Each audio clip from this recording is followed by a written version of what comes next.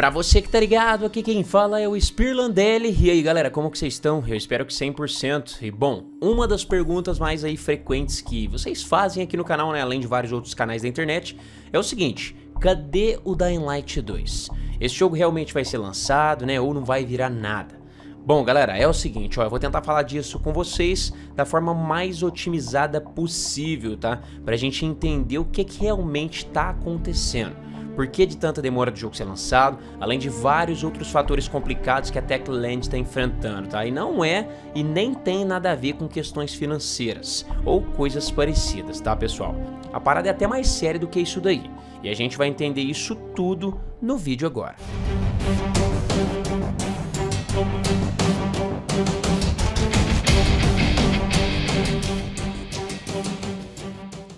Bom galera, Dying Light 2 é um dos jogos mais aguardados já faz um bom tempo, né? E claro, muitos de vocês estão cansados de saber disso, como eu também.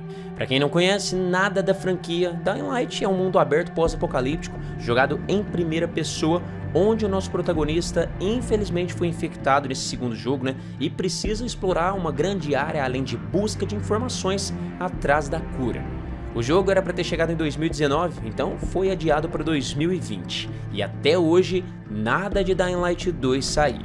Em um relatório recente sobre o jogo, foi relatado né, que o desenvolvimento do game está sendo um descaso gigante e o mau gerenciamento do jogo também está cada vez maior.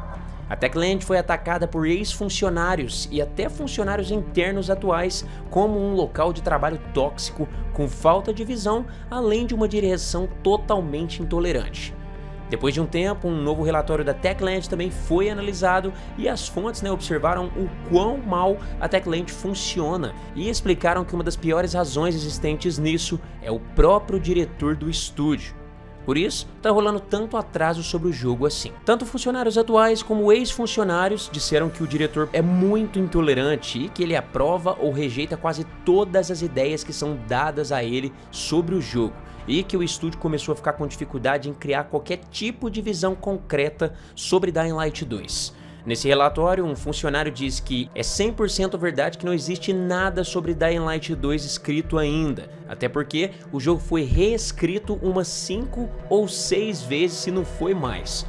Então é por isso que a gente não tem a mínima ideia sobre o que realmente vai ser desse segundo jogo, né?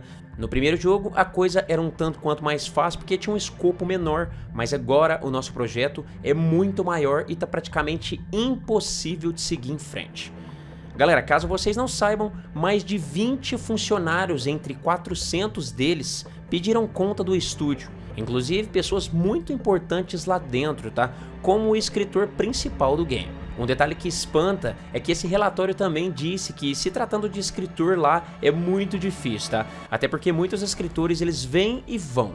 Até cliente contrata, mas logo eles pedem conta pelo fato de ter um diretor ignorante e sem nenhuma margem de visão sobre o que o projeto pode virar. Um ex-funcionário recente do estúdio que pediu conta disse que não sabe exatamente o que vai virar do jogo, até porque não tem uma história totalmente definida até hoje, galera, muito menos um final sobre isso e diz que as ideias sobre Dying Light mudam com uma frequência absurda, deixando muitos funcionários estressados e desanimados cada vez mais com o projeto. No relatório também foi dito que a forma de organização desse projeto do game está semelhante ou até pior que Cyberpunk 2077. Sendo assim, a gente precisa tomar muito cuidado quando o jogo lançar, tá? Se ele vai realmente ser o que a gente espera. Então você já fica avisado, não façam pré-compra até tudo se estabelecer. Mesmo depois de passar muito tempo, né, desde o primeiro anúncio do jogo, Dying Light 2 não tem uma data oficial de lançamento ainda, tá galera? Apesar de a empresa relatar que muitas coisas seriam mostradas em 2021. Mas com tanta mudança frequente de histórias e decisões mal tomadas, o jogo pode ser adiado de novo e pode acontecer até de não ser lançado ou ter o projeto cancelado. Mas a parte positiva disso é que o jogo pode sim também chegar em 2021, tá pessoal? Inclusive eu até mostrei a edição de colecionador em um vídeo recente aqui do canal, né? Além de investimentos de marketing que a Techland está fazendo. Resultando em um lado positivo sobre essa questão de lançamento. A desenvolvedora deixou claro que está fazendo o possível para o jogo não ser um grande desastre como foi o Cyberpunk, tá? Mas que infelizmente muitos funcionários estão infelizes com o local tóxico de trabalho e a falta de união na hora de tomar grandes decisões na história e na produção do game. Enfim, galera, então é isso, tá? Dying Light 2 está passando por um longo processo de mudanças que pode ali acarretar novamente no seu adiamento ou talvez até no cancelamento do game. Mas vamos torcer, né, galera? Isso não está sendo tão publicado para evitar conflito, viu? Mas pode acreditar, a desenvolvedora está tentando resolver isso o mais rápido possível. E é aquilo que eu falei e vou falar de novo. Toma muito cuidado, não compra o jogo antes do lançamento. Vamos esperar. Quando lançar, eu vou jogar aqui no canal, né? Vou compartilhar ideias sobre o game com vocês, para vocês verem o que acham, beleza?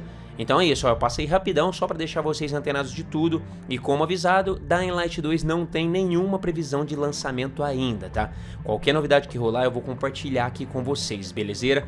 E ó, isso aqui é um assunto que poderia ser muito maior em um vídeo muito maior, só que eu tentei otimizar o máximo possível aqui para vocês entenderem da situação, mas a coisa tá feia pra Techland, tá? A parada lá, as treta tá rolando, o negócio tá bem cabuloso, mas eu espero, né, que tudo isso possa ser resolvido da melhor maneira possível. Se gostou do vídeo, é só estralar o tapão no like para ajudar o crescimento do canal, né? Que eu agradeço bastante. E claro, se quiser ficar por dentro de todos os detalhes sobre esse e vários outros jogos, é só se inscrever e ativar o sininho pro YouTube te avisar quando eu postar um vídeo novo. Um grande abraço e uma ótima semana para vocês, galera.